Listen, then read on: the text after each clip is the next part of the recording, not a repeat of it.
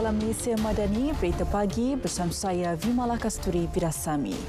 Pusat membeli belah Aeon Mall Klebang di Ipoh Perak disahkan selamat oleh pihak berkuasa dan akan beroperasi seperti biasa hari ini. Ini susulan kes panggilan yang dipercayai ancaman bom dilaporkan di pusat beli belah itu semalam.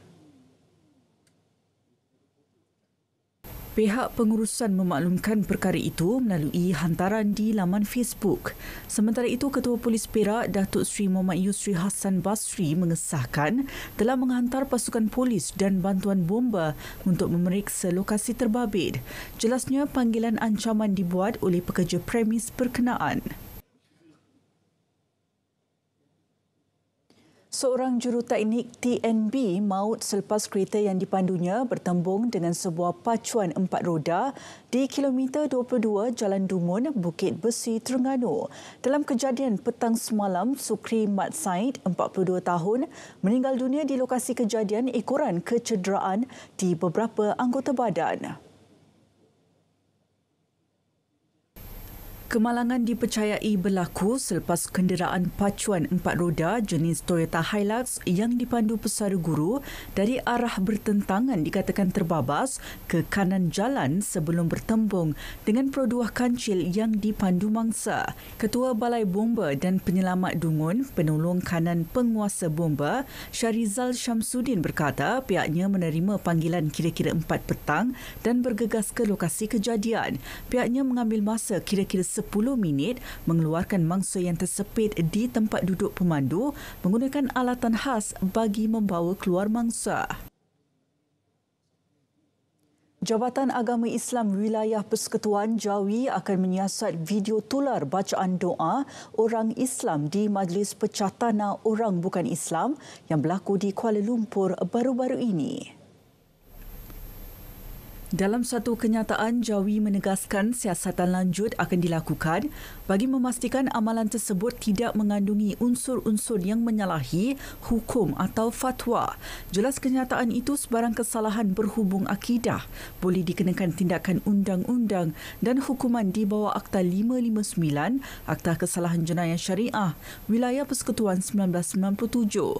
Justeru Jawi menasihati semua pihak agar sentiasa melakukan sesuatu perkara mengikut lunas hukum syarak yang ditetapkan. Majlis Pecah Tanah yang disiarkan secara langsung selama hampir sejam di platform Facebook itu mendapat reaksi kurang senang umat Islam yang mendakwa tindakan bacaan doa serta selawat yang bercampur adur dengan majlis agama lain boleh menimbulkan kekeliruan dalam masyarakat. Malaysia dan Iran sepakat meningkatkan hubungan kedua-dua negara khususnya dalam bidang ekonomi, pendidikan, keterjaminan makanan, sains dan teknologi serta menerokai potensi kerjasama baharu. Perdana Menteri Datuk Seri Anwar Ibrahim berkata perkara itu dicapai melalui perbualan telefon antara beliau dan Presiden Iran Said Ibrahim Raisi. Perdana Menteri juga ingin mesyuarat Suruhanjaya Bersama dan Suruhanjaya Ekonomi Bersama kedua-dua negara mengadakan pertemuan dengan kadar segera. We will certainly follow up uh, inshallah with the discussions with the foreign minister and um, even the uh, joint commission should convene as the earliest possible. I will certainly alert my officials to give this a priority. Kesepakatan ini adalah susulan kunjungan hormat dilakukan Menteri Luar Datuk Seri Dr. Zamri Kadir ke Tehran. Sementara itu, Perdana Menteri turut menzahirkan ucapan tanya kepada Srita Tavisin di atas pelantikannya sebagai Perdana Menteri Thailand yang baharu. Dalam ucapannya, beliau turut menyatakan kesediaan Malaysia untuk memperkukuh hubungan dengan Thailand dalam pelbagai bidang.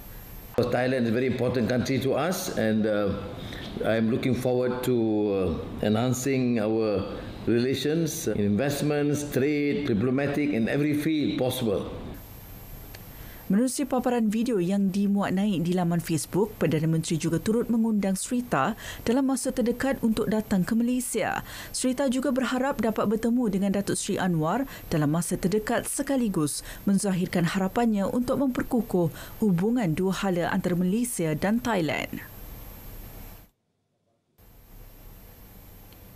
Perdana Menteri turut mengadakan pertemuan dengan 22 ketua jabatan dan agensi penguat kuasa yang berhubungan dengan jenayah kewangan petang semalam. Ini merupakan susulan daripada pertemuan pada 17 Ogos lalu. Dalam mesyuarat itu, beliau menekankan agenda untuk meningkatkan tata kelola akan diteruskan. Perkara itu merupakan faktor penting dalam menghapuskan ketirisan dan pembaziran serta menarik pelaburan dan meningkatkan persekitaran perniagaan malah menjaga keselamatan rakyat dan sempadan negara. Beliau turut mengarahkan kesepaduan dan kerjasama agensi kerajaan dengan lebih proaktif dan efektif.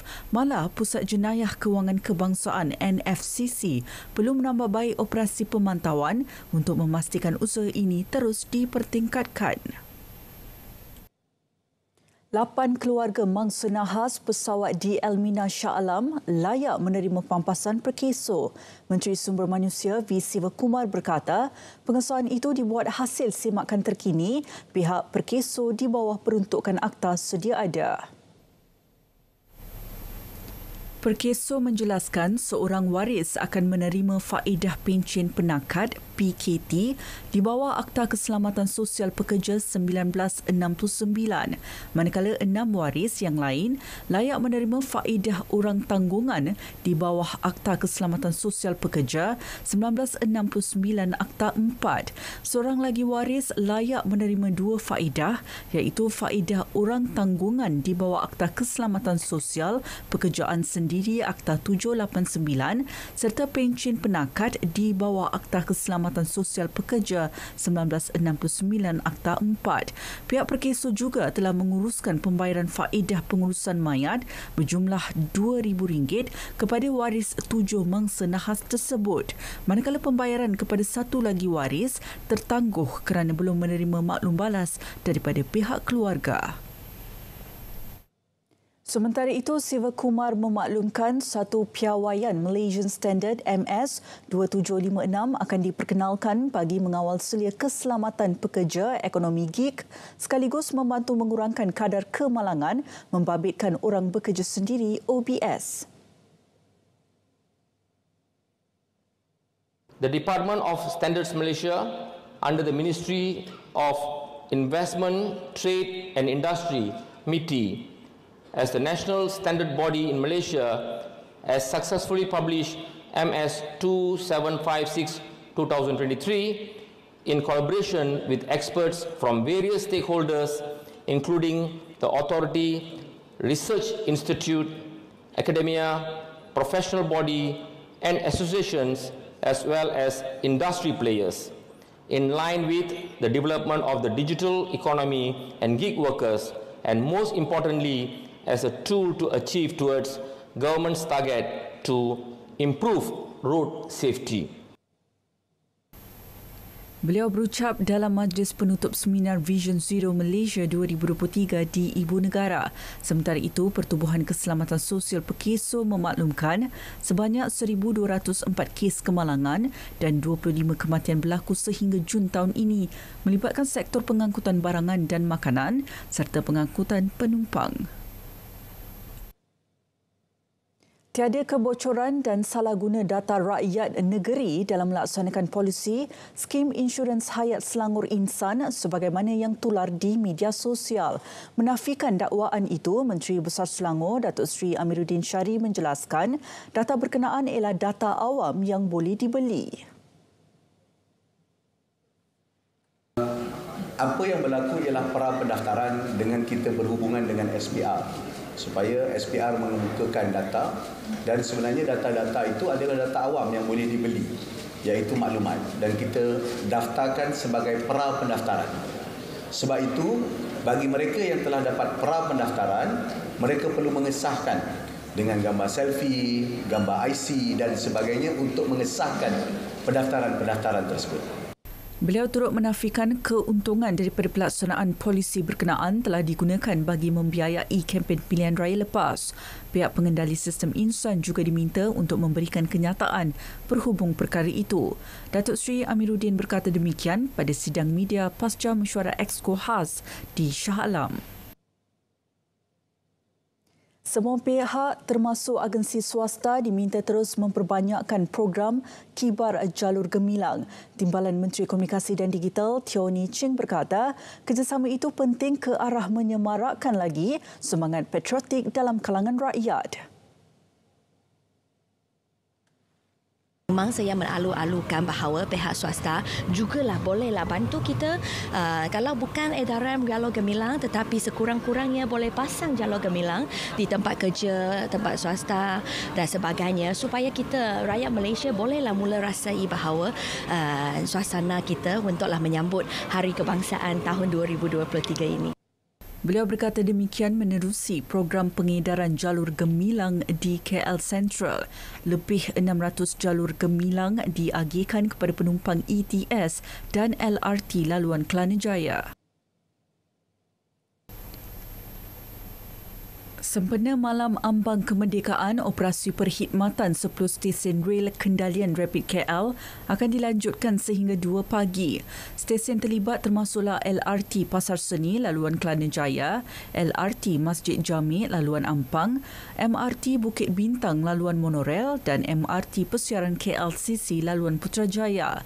Perkhidmatan bas perantara percuma dari stesen MRT Putrajaya Central ke dataran Putrajaya melibatkan 50 buah bas turut ditawarkan. Sementara itu, sempena sambutan Hari Kebangsaan di Dataran Putrajaya pula, semua operasi rel akan bermula seawal 4 pagi. Ini termasuklah perkhidmatan 50 bas perantara percuma disediakan dari stesen MRT Putrajaya Central ke Dataran Putrajaya. Selain itu, tiga perkhidmatan bas perantara percuma merangkumi laluan MRT Putrajaya Central ke Dataran Putrajaya, Kompleks Nasrul Quran, Presin 14 dan Marina Putrajaya juga di disediakan.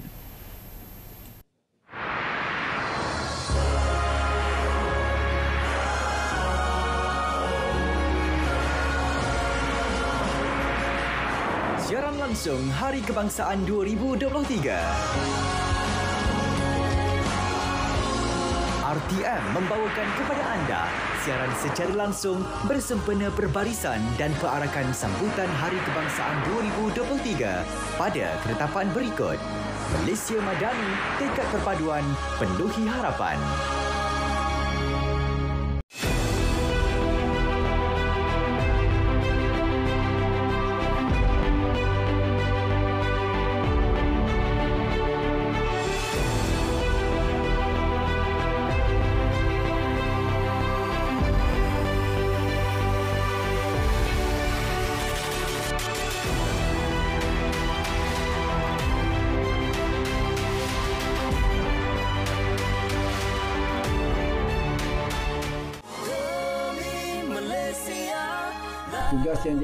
Diamanahkan di bawah Panji-Panji Bersatu untuk memberi uh, bantuan keamanan di negeri Somalia.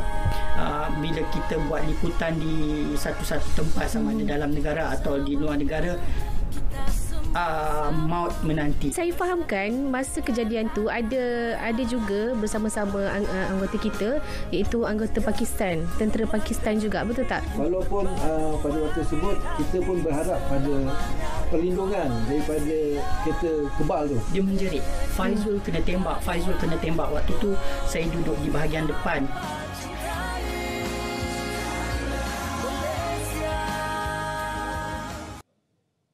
Kementerian Kesihatan menggalakkan sesi X-Break atau aktiviti regangan ringkas dilaksanakan bagi membudayakan gaya hidup sihat dalam masyarakat. Menterinya Dr. Zaliha Mustafa berkata pihaknya juga dalam usaha mempromosikan kepentingan X-Break kepada komuniti seperti di tempat kerja dan institusi pendidikan. Pihak kementerian uh, kini sedang dalam usaha untuk mempromosi X-Break secara lebih meluas Uh, ke komuniti seperti di tempat kerja dan institusi-institusi pendidikan. Ini justru saya mohon semua pihak dari pengurusan tertinggi juga ketua-ketua jabatan dan ketua sektor untuk memastikan perkara ini diambil tindakan yang sewajarnya. Dan saya difahamkan sebenarnya telah ada surat pelaksanaan X-Break yang dikeluarkan oleh Ketua Pengarah Perkhidmatan Awam pada tahun 2019. Beliau ditemui media selepas menerima sijil pengiktirafan Malaysia Book of Records di Putrajaya.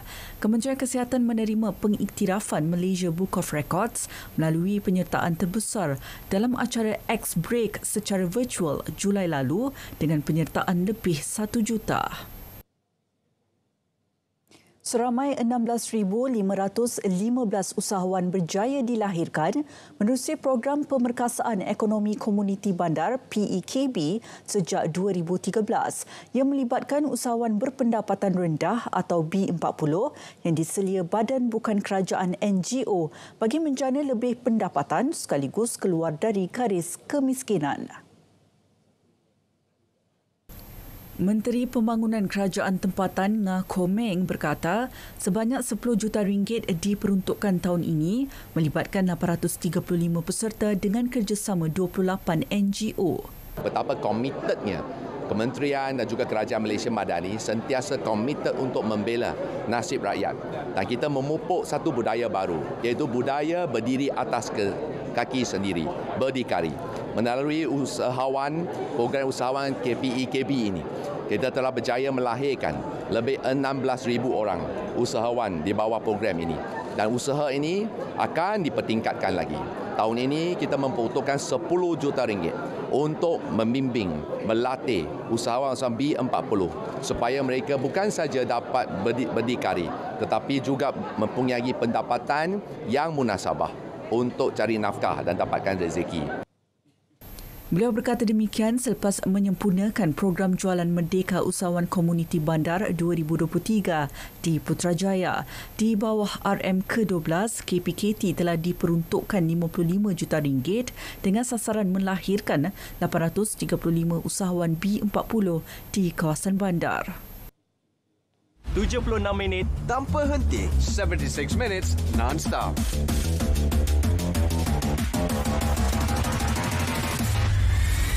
Transparent and concise. Paparan komprehensif, ringkas dan padat. Saksikan Kanta 744, 7.44 malam. Berita perdana 8 malam. Malaysia Tonight, 8.30pm.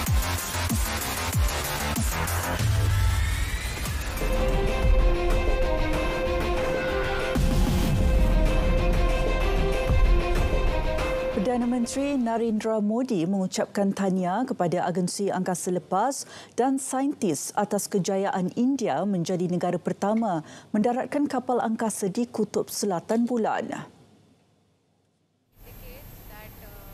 Beliau yang ketika ini menghadiri sidang kemuncak BRICS di Afrika Selatan menyaksikan detik bersejarah itu secara dalam talian. Misi ke bulan Chandrayaan-3 telah dilancarkan pada 14 Julai. Ini adalah percubaan kedua India untuk mendaratkan kapal angkasa di bulan. Percubaan itu hadir kurang seminggu selepas misi Luna 25 yang dilakukan Rusia menemui kegagalan.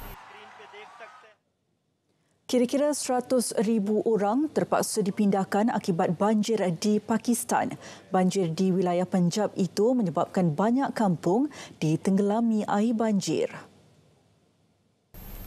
Menurut pasukan kecemasan Pakistan, Sungai Sutlej melimpah menyebabkan beberapa ratusan kampung dan beribu-ribu ekar tanah pertanian ditenggelami air. Penduduk kampung yang terjejas banjir menyatakan kawasan tanaman telah musnah menyebabkan ramai kanak-kanak kelaparan. Perkhidmatan Kecemasan berusaha memindahkan penduduk dan binatang ternakan ke tempat yang lebih tinggi. Ketua Kerajaan Punjab Musin Naqvi berkata hujan monsun menyebabkan pihak berkuasa di India melepaskan lebihan air tangkungan ke dalam Sungai Sutlej mengakibatkan banjir di hilir sempadan Pakistan.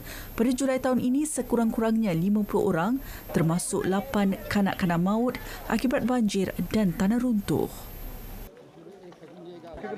Sementara itu, ribut petir dan hujan lebat melanda Arab Saudi. Jalan-jalan berhampiran Masjidil Haram dinaiki air banjir ketika hujan lebat di kota Mekah. Amaran merah dikeluarkan di Kota Mekah dan beberapa bahagian lain di Arab Saudi kerana keadaan cuaca tidak menentu.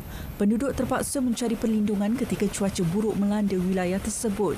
Ribut petir turut dirakamkan di kawasan Masjidil Haram. Kaki tangan di Masjidil Haram antara yang menjadi mangsa angin kencang. Manakala mereka yang berada di luar bangunan dilihat berlari mencari perlindungan ketika ribut kuat melanda Kota Mekah.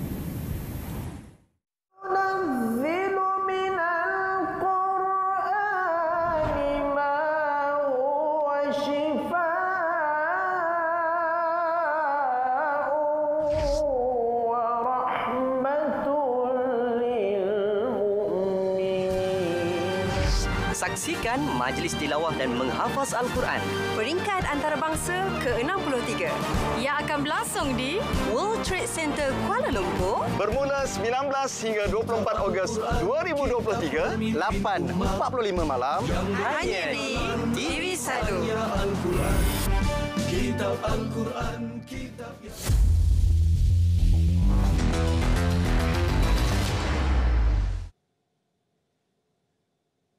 Kejohanan Badminton Dunia 2023. Dua pasangan beregu utama negara Aaron Chia So Wuyik serta pelitan M. Tina menepati ramalan melangkah ke pusingan ketiga selepas menundukkan lawan masing-masing.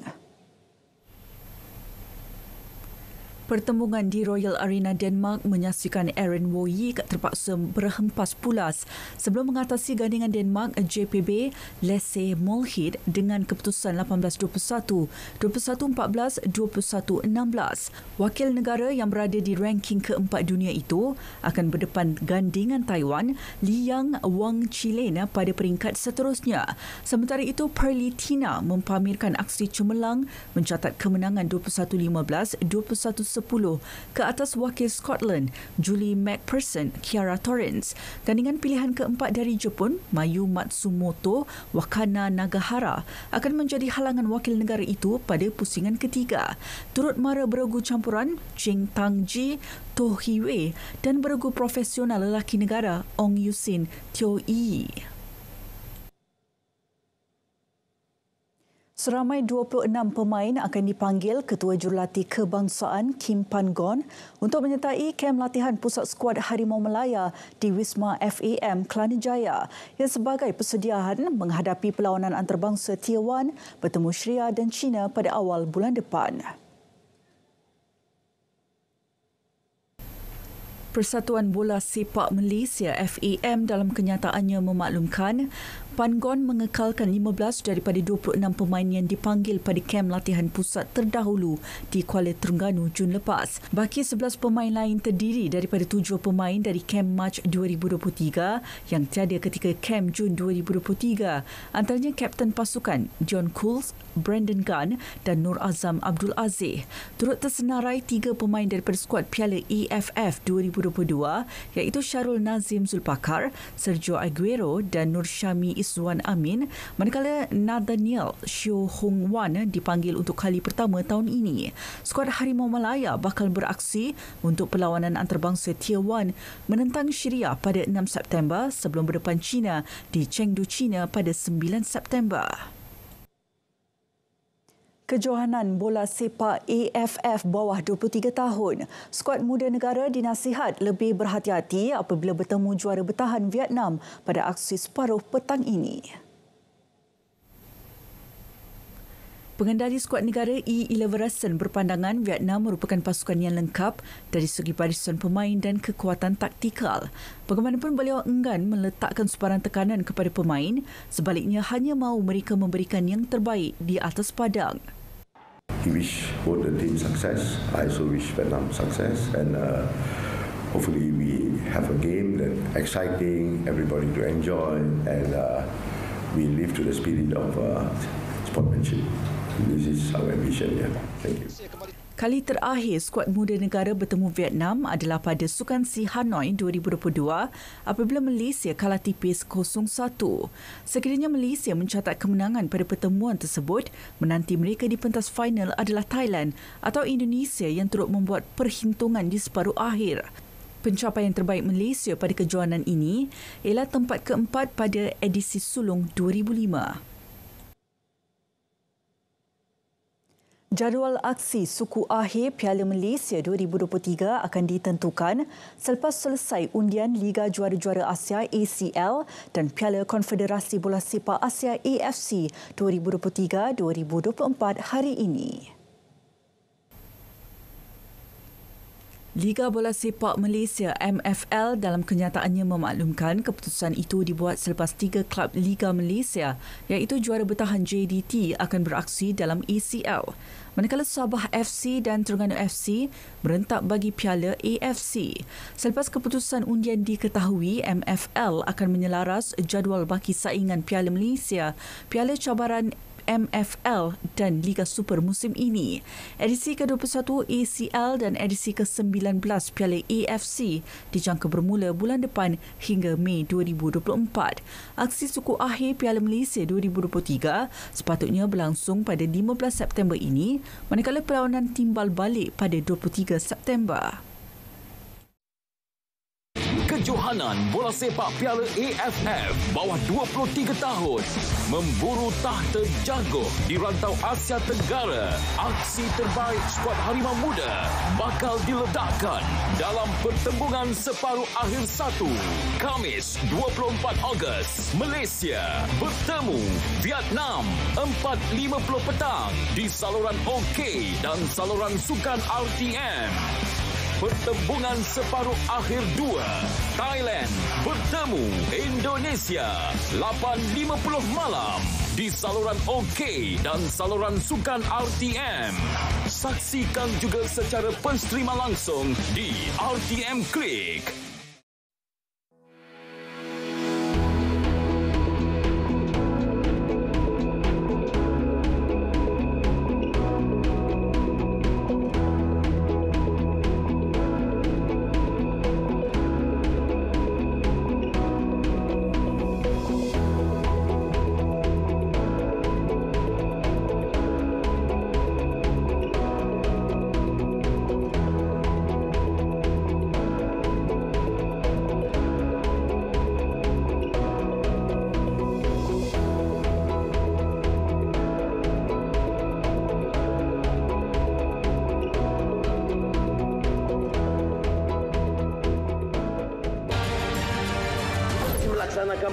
Pembaharuan supaya Malaysia dapat tergolong antara 12 ekonomi terbaik di dunia dari segi daya saing dan ease of doing business.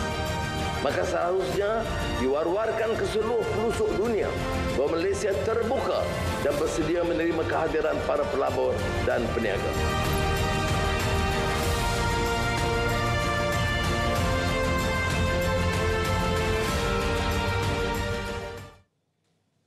Berita pagi berakhir di sini. Malaysia Madani, tekad perpaduan penuhi harapan.